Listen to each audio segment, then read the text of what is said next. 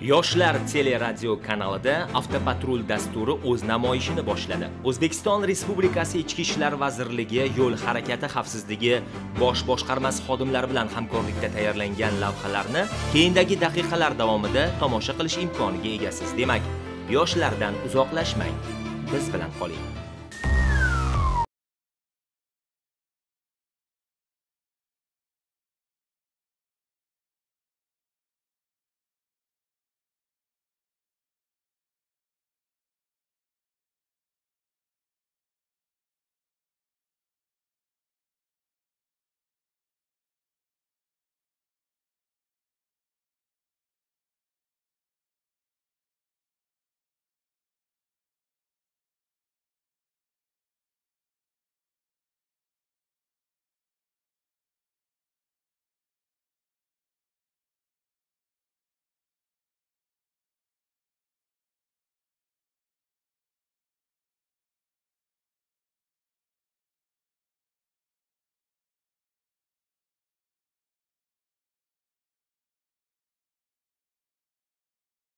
Lanmasliklari yuzasidan ogohlikka chaqirildi.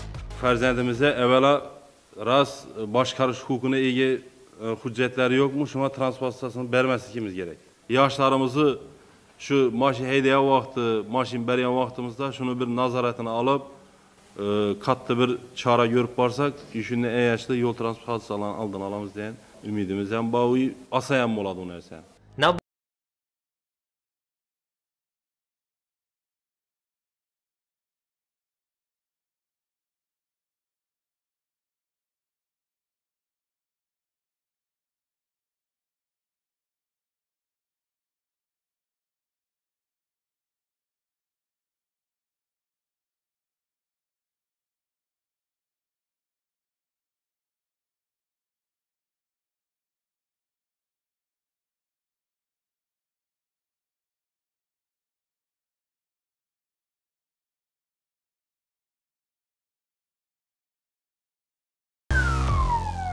Respublikamiz hududida sodir etilayotgan yo'l transport hodisalari tahlillari shuni ko'rsatmoqdaki, shaharlararo va viloyatlararo harakatlanuvchi avtotransport vositalari haydovchilarining o'z vaqtida dam olmasliklari, ruhiy yoki jismoniy zo'riqish sababli uxlab qolish oqibatida sodir etilayotgani aniqlangan. Aynan shunday holatlarning oldini olish maqsadida Xorazm viloyati Ichki ishlar boshqarmasi yo'l harakati xavfsizligi boshqarmasi xodimlari tomonidan blokpost va yo'l patrul xizmati maskanlarida haydovchilar o'rtasida tushuntirish ishlari, profilaktik targ'ibot tadbirlari o'tkazilib, boshqa harakat ishtirokchilarini ham hushyorlikka chorlash maqsadida doimiy ravishda ommaviy axborot vositalari orqali namoyish qilib kelinmoqda. Shaharlararo, viloyatlararo qatnaydigan har bir haydovchiga tungi paytda uxlab qolmaslik, charchoqlik holati his qilganingizda xavfsiz joyga o'tib dam olishlari bo'yicha tushuntirish ishlari targ'ibot ishlari olib borib turibmiz. Shuning uchun e'tiborli bo'lishingiz kerak yo'l harakati qoidalarini amal qilishingiz kerak.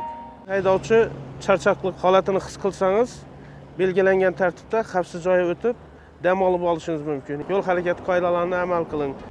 Haydovchilarga uzoq yo'lga chiqishdan oldin to'yib uxlashlari avtotransportni boshqarishda va yo'lga chiqishdan oldin o'zlariga nisbatan ruhiy bosim o'tkazilishiga depressiya holatiga tushishlariga yo'l qo'ymasliklari agar o'zlarining psixologik holatlaridan qoniqmagan taqdirlarda transport vositasini boshqarishni keyinroqqa qoldirishlari zarurligi aytildi. Bu orqali esa o'zlari va o'zgalarning hayotini asrab qolishlari hayotiy misollar yordamida tushuntirildi. Shuningdek shaharlararo va viloyatlararo harakatlanish chog'ida haydovchilarning uxlab olishlari uchun moslashtirilgan joylar mavjudligi o'zlarida uyqu yoki charchoqni sezgan paytda qizg'anilmagan 30 daqiqa evaziga o'zlari va o'zgalarning yana qanchadir yillik umrlarini asrab qolishlari mumkinligi ta'kidlandi. Xorazm viloyati ichki ishlar boshqarmasi yo'l harakat xavfsizligi boshqarmasi xodimlari tomonidan joylarda doimiy ravishda profilaktik suhbatlar davom ettirilmoqda. Xorazm viloyati hududida harakat xavfsizligini ta'minlash, qo'pol qoidabuzarliklarga chek qo'yish hamda shu orqali sodir etilishi mumkin bo'lgan noxush holatlarning oldini olish maqsadida reyd tadbirlarining navbatdagisi Ichki ishlar boshqarmasi yo'l harakat xavfsizligi boshqarmasi xodimlari tomonidan Urganch shahrida o'tkazildi.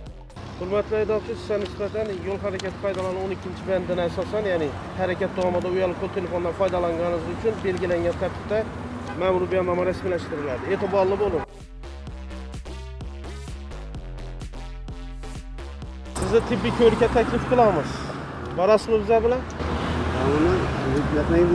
Marhamat spirtli ichimlik hidi kelgan bo'lib turibdida bakın dedi.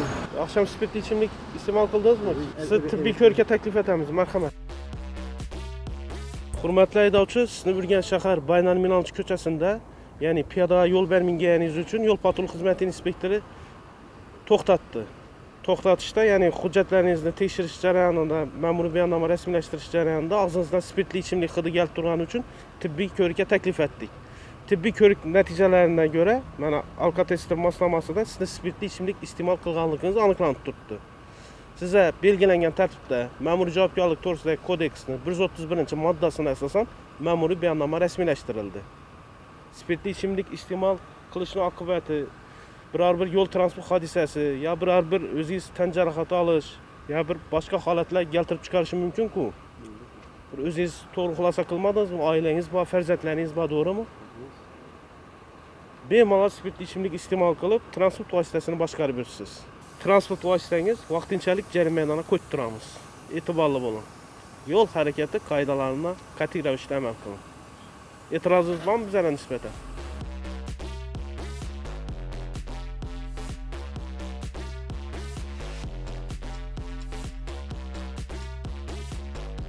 Harakat davomida uyali aloqa vositasidan foydalanish mumkin emasligini bilasiz to'g'rimi? Yo'l harakati qoidalaridan belgilab berilgan. Harakat davomida uyali qo'l telefondan foydalanish mumkin emas.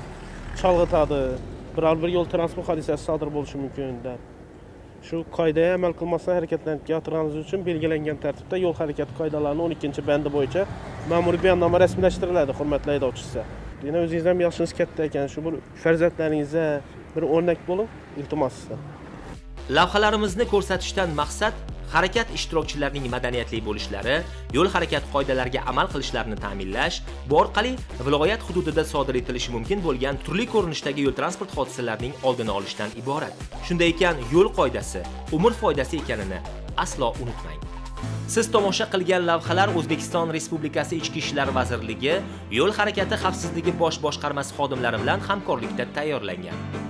Kelgusi dasturimizni ham o'tkazib yubormaysiz degan umidda endi shu o'rinda siz bilan xayrlashamiz.